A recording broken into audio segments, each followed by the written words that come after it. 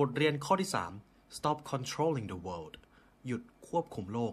หากคุณต้องการที่จะควบคุมโลก มันเป็นไปไม่ได้ โลกเป็นภาชนะศักดิ์สิทธิ์และไม่สามารถควบคุมได้ คุณมีแต่จะทำให้มันแย่ลง หากคุณพยายาม บทเรียนข้อที่ 4 enough is enough พอคือพอ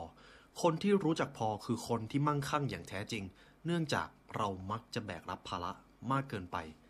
เล่าจือครับได้กล่าวไว้ว่าตัวตนของเราไม่ได้ขึ้นอยู่กับสิ่งที่เรามีเลย ทรัพย์สินเหล่านี้ไม่ได้อยู่ในการควบคุมของเรา การมีบ้านดีๆ การมีเงินในธนาคารที่ทำให้เรารู้สึกมั่นคง ไม่ใช่เรื่องที่ผิด ตราบใดที่เราไม่ตกเป็นทาสของสิ่งที่เราเป็นเจ้าของเสียเอง บทเรียนข้อสุดท้าย don't cling to life ไม่ยึดติด เล่าจื้อได้เขียนมาว่า